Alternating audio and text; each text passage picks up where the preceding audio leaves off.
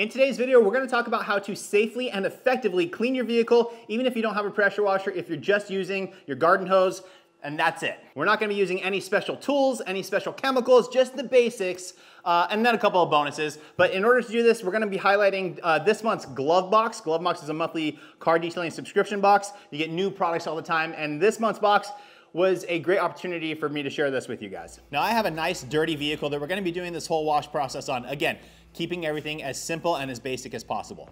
All right, guys, so here is the vehicle that we're gonna be working on. This is a 2023 Kia Telluride.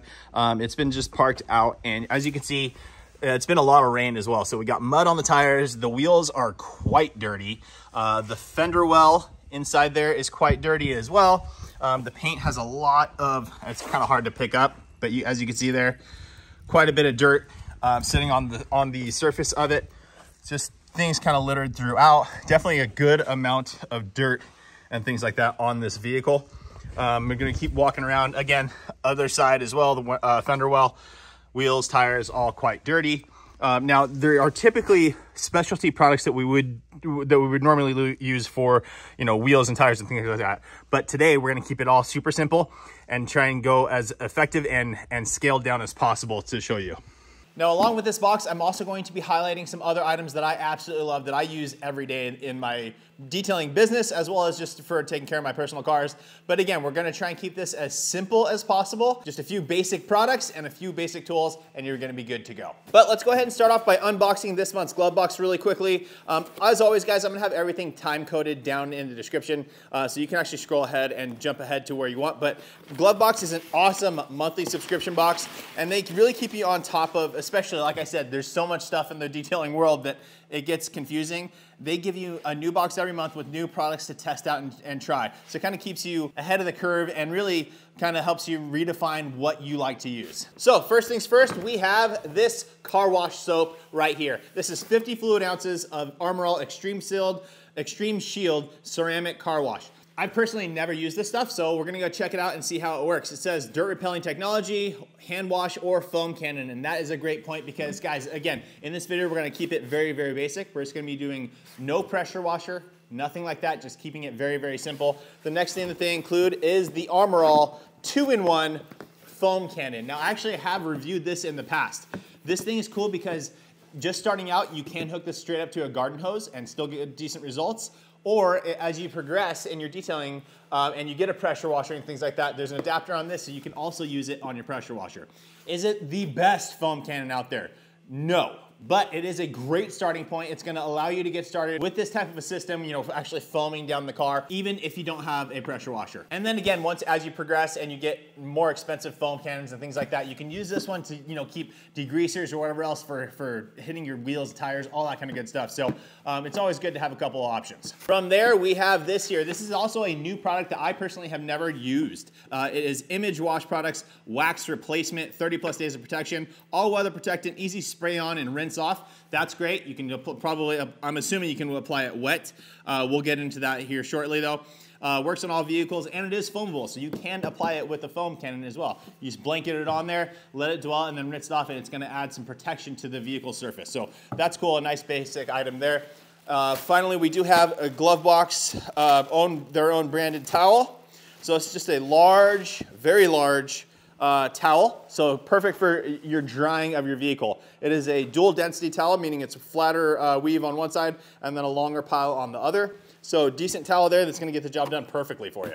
And last but not least, we have a four pack of Refresh uh, air fresheners. Now guys, if you're interested in signing up for a glove box, the monthly subscription, uh, make sure to check the link down in the description below for you guys. I do have a coupon code with them, so you'll get a discount on your first month's box, and then you can go from there. Again, you get new stuff all the time, so you're able to test everything out. Okay, now let's head outside and go check out the car. All right, guys, I just want to jump in here really quickly because I know there's going to be people in the comments saying, oh, you shouldn't wash your car that way on a professional level, I'm a professional detailer. Yeah, this isn't the method that I would use uh, uh, within my daily business. This is essentially for the person who you know, is has always done the old school has always done a garden hose and a bucket. This is gonna be an awesome system to show you how you can safely and effectively get good results and uh, minimize your risk of damaging the paint. So that's what this is, guys. I know we could also do waterless washes and all that kind of stuff, but again, this is guided to the person that's used to a bucket, a hose, and some soap. All right, guys, now as I said, we're gonna keep this as scaled down as possible, so I'm just gonna use a bucket, no grit guard. A grit guard is something that'll actually help to cap, uh, capture the dirt,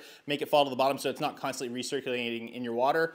A uh, great way to help reduce fine wash marks and things like that. Again, we're not using that today, we're going basic. Hose, I'm using a garden hose without deionized water, strictly straight from the tap. Uh, no spot-free uh, effects here. This is so we do have to work a little bit faster. Um, so we're gonna start off. We're gonna fill our bucket and add in some soap. All right, guys. So I am gonna use a little sprayer on the end of my hose. We're just gonna open it up. We're gonna fill the bucket up with water. Um, I usually go, you know, it's a five gallon bucket here. I'll probably go two gallons of water, not a big deal. Just fill that up. As I'm doing that, we're gonna go and move on to the ceramic wash and wax, or uh, excuse me, ceramic car wash from uh, Armor All. We're gonna open this up. It says to add two ounces of wash concentrate into a bucket and mix with water. So as you can see, it is foaming up quite nicely. So I like that. All right, should be good. We're gonna shut that off let that dwell. Now, next thing we're gonna use, now you can use a wash mitt, but because we don't have a grit guard or something that's gonna help protect the wash mitt from getting recontaminated, we're instead, we're just gonna use a couple of microfiber towels. We're gonna dip those into the bucket as we're washing the car. As one gets soiled, we're gonna toss to the side, go to a brand new one. Now, for the purpose of today's video, we're just using basic, basic towels here, guys. These are the Costco microfiber towels. Uh, they're actually, I think, currently on sale right now as well. So a really, really good value. They are a 350 GSM, which is a grams a gram per square meter. It's a measurement of rating for uh, the weight of the towel. And they're an 80-20 blend, meaning 80% polyester, 20% polyamide. Typically, the higher the amount of polyamide, the better. Um, but again, these are for the price, these are, things are great. However, there is a little bit of inconsistency to these towels, so you can have issues where it scratches. Um, so we're gonna be relying on the lubrication from the soap to help us out with that. So since we're gonna be using straight water straight from the tap on a garden hose, speed is of the essence, guys. Now there's a couple of tips, uh, pro tips that if you're doing this um, on your own, make sure to do it out of direct sunlight, right? You don't want the panel to be hot because that's gonna allow the surface, the water to dry on it, and then you could potentially get water spots when you're not using a specialized DI filter. So I'm gonna set this up. We're gonna go ahead and pre-rinse the vehicle. That's gonna get the excessively, you know, heavier dirt and debris off of it. Then we'll go in for our contact wash using the soap bucket.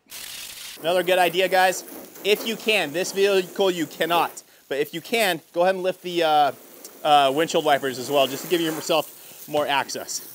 Some vehicles like this though, like this one, are tucked in under the hood, so you can't do it, but if you can, I definitely recommend it. Alrighty guys, so my initial wash is done. Now I'm gonna go ahead and grab my wash bucket, grab the first towel, start working over the area. Another pro tip is start from the top and work your way down. The more contamination on the paintwork is always lower. So when you go down there, you wanna either flip your towel so that you have a new fresh surface or go to a new one because that's where you're gonna pick up all the excessive dirt. You wanna do as much as you can also not to rub up against the panel. You know, you're like right now I'm wearing a jacket that has a zipper on it. So you wanna try and keep that off the paintwork as much as possible so that you're not potentially scratching the paint. Now, under these circumstances, the towel is not holding a ton of soap. So revisit that soapy bucket more often when you're doing it this way. And because that, you may need to actually uh, use more towels than you had originally expected because you don't want to just re keep re continually re-dipping the same one. That's going to introduce dirt and debris into the bucket that could potentially harm your paint while you're rubbing the surface. So it's always essential to keep everything nice and clean uh, even while you're doing the process so that you don't uh, recontaminate. Uh, this towel is essentially all done, so I'm just gonna really quickly go over the lower panels and then switch over. All right, guys, this towel is toast, onto a new one. Now this soap seems to be doing a fine job. Um, it's not the slickest soap that I've ever used. Um, probably for slickness, I really, really like using a product called Gyeon Bathe. Um, it's also really good in a foam cannon as well. Again, we're not foaming today, um, but that is a great product that I love. Um, I will have all the links down in the description, guys, for obviously they sign up for Glovebox as well as um, all the other products I talk about for you. Another pro tip, guys, is because I'm using uh, just regular garden hose water, right? if it starts to dry onto the panel at all, I'm gonna reapply water to it. You don't want that water to completely dry onto the surface. If you keep it wet, you'll be okay. So we're gonna do that and we should be able to avoid the water spots. Wow, and actually look at that. You can see the way the water is beating here, hopefully. Um, that is the ceramic protection in this soap. And again, it's not crazy, but for a soap, that's not bad. So I went down low, and now I'm flipping my towel so I don't recontaminate. All right, and I'm gonna go and hit the whole front end of this thing with this towel now. Again, went low, so I'm gonna hit all the plastics down below. All right, that towel is done. Down, we're good now. Actually, we've hit everything. Gonna go ahead and once again, rinse, and then I'm gonna go into the tires. It's not my normal process, but in this case it is. Another pro tip, guys, always keep one other hand on the hose so that it's not rubbing up against the panel of the car because that can scratch it. So keep that piece away and you'll be good to go. Okay guys, now that we've got the whole car wet again, so we don't have to worry about the water spots right now, right? It's not drying onto the paint. I'm gonna take my clean towel, or this is the cleanest one, I'm gonna start agitating the wheels. This is a pain in the butt. It's much better to have dedicated wheel and tire products, um, but in this case we don't. We're doing the basics, so here we go.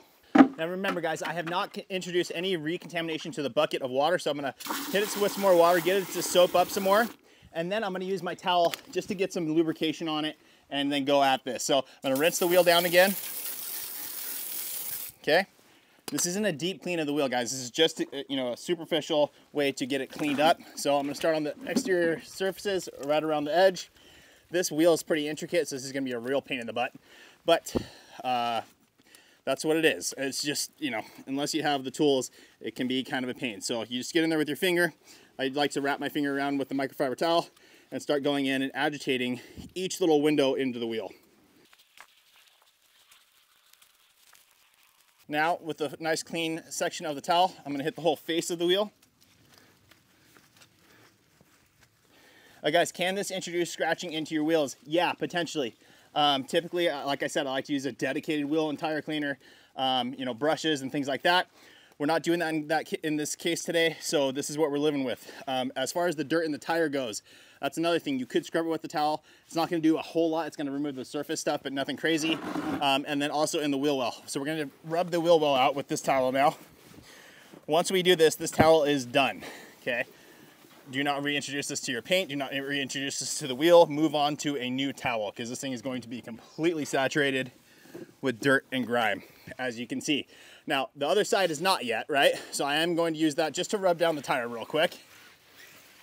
All right, and there we go. So that is clean, uh, at least as far as this circumstance goes. So we're gonna rinse that down now. Now we didn't get into the barrel of the wheel. That's another thing back here where the brakes are, especially a lot of dust gets stuck back there. Specialty tools for that. This isn't the case here, guys. We're just doing a basic service with the basic essentials that we need.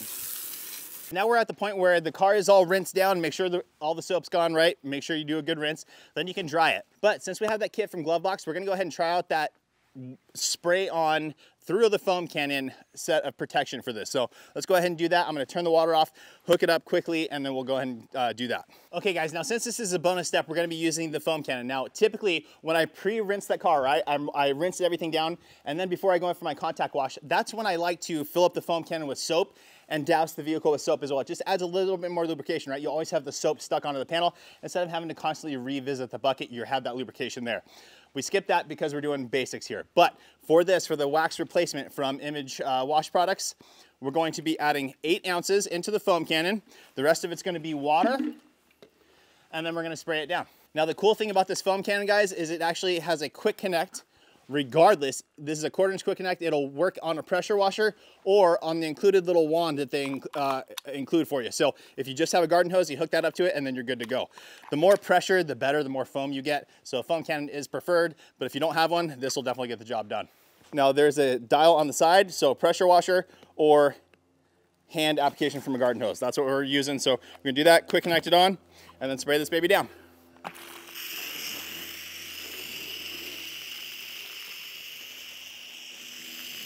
So as you, as you can see, guys, this is a foam blaster when it's not hooked up to a pressure washer. It's gonna do the job. It's gonna apply it in a nice even pattern.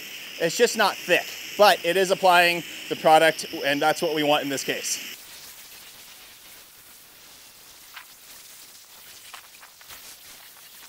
And again, when you use this, I like to go from the top to bottom so that we're getting all the material dripping down and we can evenly get nice distribution across as we follow it down.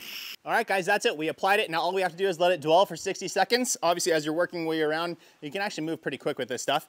But 60 seconds and then go ahead and rinse it off. Again, you can let it dwell a little bit longer if it's a day like this, it's not direct sun and the panel is nice and cool, but you don't wanna let it dry onto the surface. Now we can take this little wand that's from the Armor All uh, foam cannon and just start rinsing it down with that way. I actually like this better than what I was using. The pressure is much, much better. And as you guys can see, it's doing a good job of repelling water right? You can see it's starting to break all that up really, really quickly. And then the water beating is decent. So for a product that you're able to spray on and rinse off, now there's other products that, I like to use for this. Gyeon Wet Coat that you can actually just spray on um, as it's wet is fantastic. Even Gyeon Bathe Plus, which is a soap with protection in it, you just add a little bit more and you can do this and you get the same result. Alrighty guys, now that that's all done, the car has been cleaned, the car has been, uh, protection has been applied as a bonus using that foam cannon. We're gonna go ahead and dry the vehicle using that drying towel that we got in our glove box. So here it is guys, as you can see, it's a nice large towel. I talked to them, this is an 80-20 blend, similar to the microfiber towels we were using, and a 400, I think 400 GSM, I believe somewhere in there, 4 450.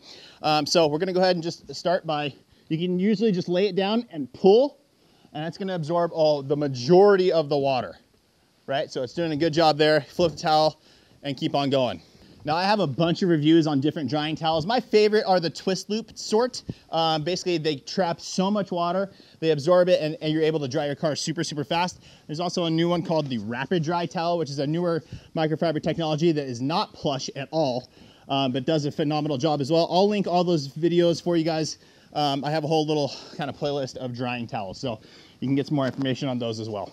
All right, guys, so we've gone around the car. The towel is definitely saturated, um, and we do still have some streaks, uh, but overall, it absorbed the majority of the water, so we're good to go. One benefit, too, as a last step, I'm, I'm actually gonna, just gonna switch towels, but you can also go to a quick detail spray and mop everything up and get it all perfect that way. Or if you have one, a leaf blower. You can go with something like a you know a traditional leaf blower, either battery or plugged in, or you can go with this guy. I did a whole review on this as well. This is the Ryobi little handheld.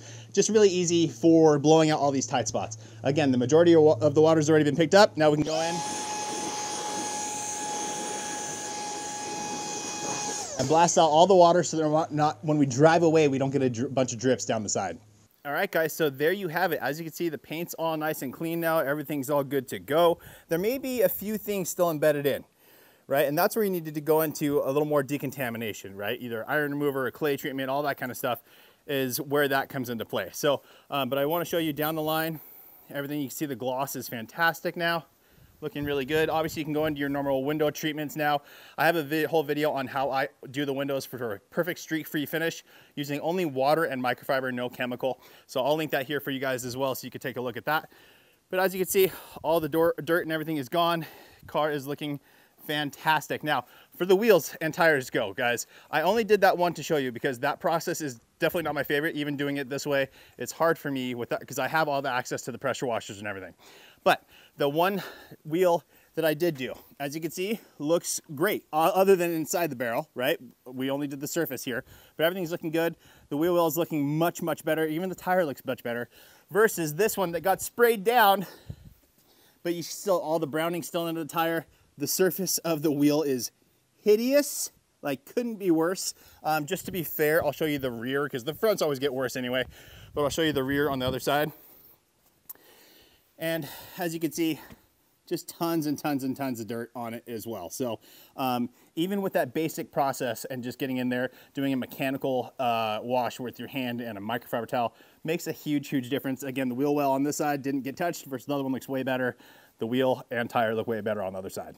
All right, guys, so that is it. Nothing complicated, right? Just use common sense when you're doing this. You don't wanna reintroduce dirt onto a clean panel. You don't wanna use a contaminated wash mitt or, or, uh, or, microfiber towel and then put that back on the paint because there could be contaminants in there that could potentially scratch your paint, right? So if you want a nice clean finish, just follow those basic simple steps. Don't wash in direct sunlight, especially if you're not using deionized water. If you are, and I have a bunch of videos on that as well, um, then it's spot free water, it's not a big deal. But when you are using straight out of the tap, especially for me, my water, the water in my area is quite hard. Um, you can definitely get a lot of water spotting and you wanna minimize that risk as much as possible. So keep the panel wet, don't let the water dry onto the surface, work out of direct sunlight, work when the panel is cool. And all those little tips are gonna help you get dramatically better results. So that's it for today's video, guys. I hope that's helpful. I know this isn't something that I usually do. I'm always, I personally always use a pressure washer. I have tons of reviews on those to see which ones are best for car detailing. Um, but I know a lot of people don't have a pressure washer or want to, you know, simplify the process. If you're just, you know, want to do a quick wash or something like that and you don't want to bring out your pressure washer if you don't have it mounted in your garage, eh, you know, it can be a pain. So uh, a lot of times you go straight for the hose and this is a fantastic way to make sure you're getting the best results and doing the least amount of harm to your paint. That's it, guys. I hope that video helps you. Please make sure to like the video, make sure you subscribe, turn on that notification bell, and we will see you on the next.